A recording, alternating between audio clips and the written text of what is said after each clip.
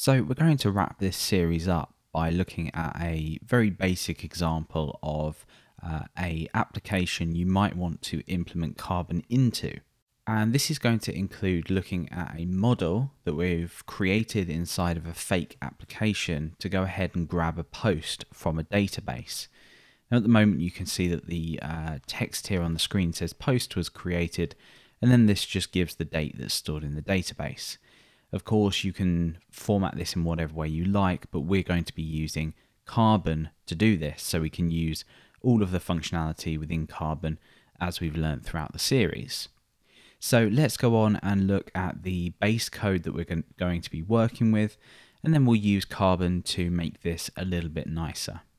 So over to the code base then, and I've created a very basic representation of what you might find inside of a model. Uh, most of the code that I'm going to be using, I wouldn't recommend to actually use. This is just to demonstrate how you might be pulling records back, uh, implementing them into a model somehow. Now, this could be with any framework that you're using, any very light framework that doesn't already use Carbon to allow you to uh, manipulate dates and format dates with Carbon. So let's take a look at what's happening here then. We are creating a new instance of this post uh, class here, which all is doing is uh, it's extending model, which is our base model, and we're defining which table we're pulling records from. In this case, I just have a, a database here called project. I have a table called posts, and I have one post in here, and the title and created date are just here. So what we're doing then on here is we're saying post was created, and then we're accessing the created property here. Now, if we look at this base model, which is what we're going to be modifying, you can see here that we've got a new database connection. Obviously, don't do this because this would be uh, within some kind of container. You wouldn't actually instantiate this every time uh, you created a model. And if we head down here, we can see this get first method, which we're using on here. So get first, all this is doing is it's pulling back the first record. And we're using a protected method here, get first record, and all that's doing is it's querying the database for everything from the particular table that we're using. Remember, this table here refers to this uh, property just here. And then we are just limiting it by one. So that's pretty much it. Now, what we're also doing is we are fetching an object from this and we're setting this to this data. And the reason for that is then we can access this data inside of here uh, using the get uh, magic method, which allows us to do things like the following. So for example, public function gets title, and then we can just return this title. Obviously that's beyond the scope of this video. What we're interested in is when we go ahead and pull in created, so the created property on this object, which is the created day here, we want to have this as a carbon instance so we can do anything we want with it. In this case, we're going to be looking at using the diff for humans method to output this uh, to say something like two hours ago or three hours ago. Um, so we need to modify the base model to allow us to do this. obviously, depending on the framework or code you're currently using, this is going to dramatically differ. But this is really just an example to show you how to work with this in a real world scenario. So the first thing that we're going to do then is you'll notice we have this protected get collection method down here. Now I've created this as a kind of example of you would uh, of sort of collecting data from your model and then doing whatever you need with it before you output it. So what we're going to do then is we're going to say this data equals and we're going to wrap this in this get collection like so. Let's just pull that down so it's a little bit more readable. And all this is doing then is it's setting the data property on here, which remember we can access using this uh, getter here, this uh, magic method. And get collection now allows us to modify this in any way we want. This of course could be a separate class altogether. You could create a new collection object, whatever you want to do. So what we're going to do then is in our post model, we're going to go ahead and we're going to define the dates in here uh, within our table. So for example, created, you might have updated, you might have last visited.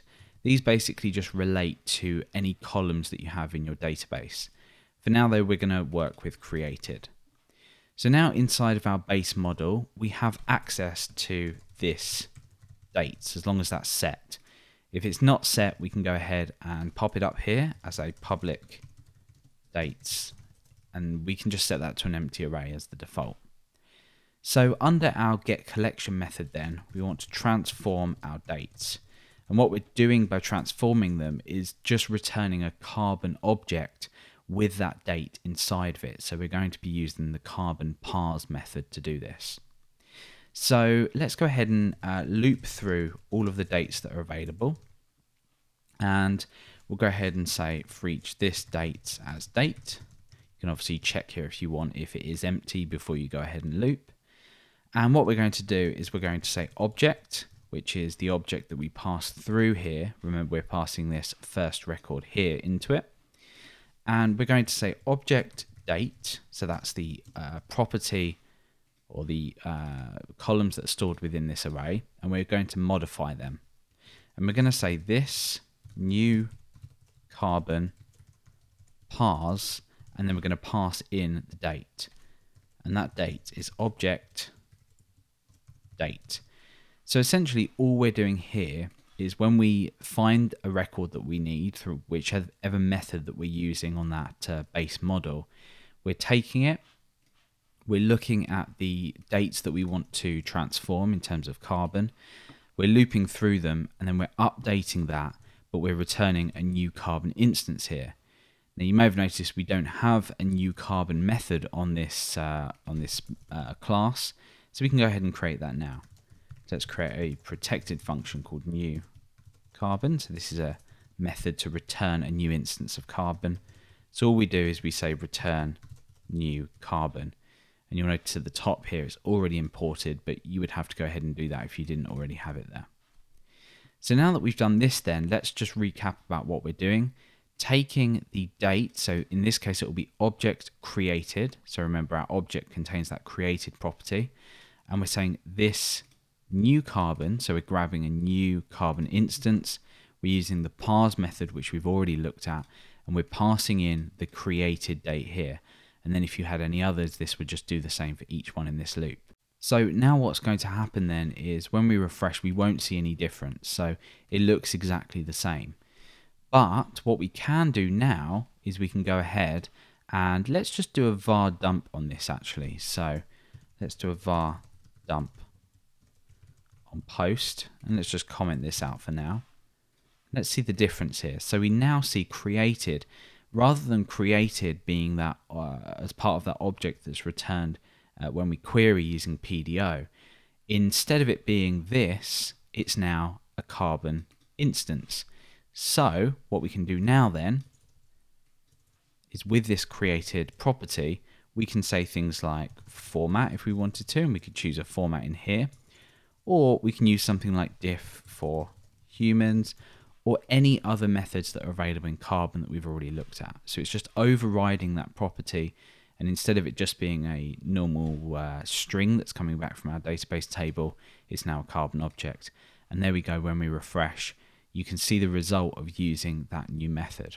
So depending on the structure of your application, you can use Carbon to override date properties coming from an external source. This doesn't have to be a database, it could be an API from somewhere.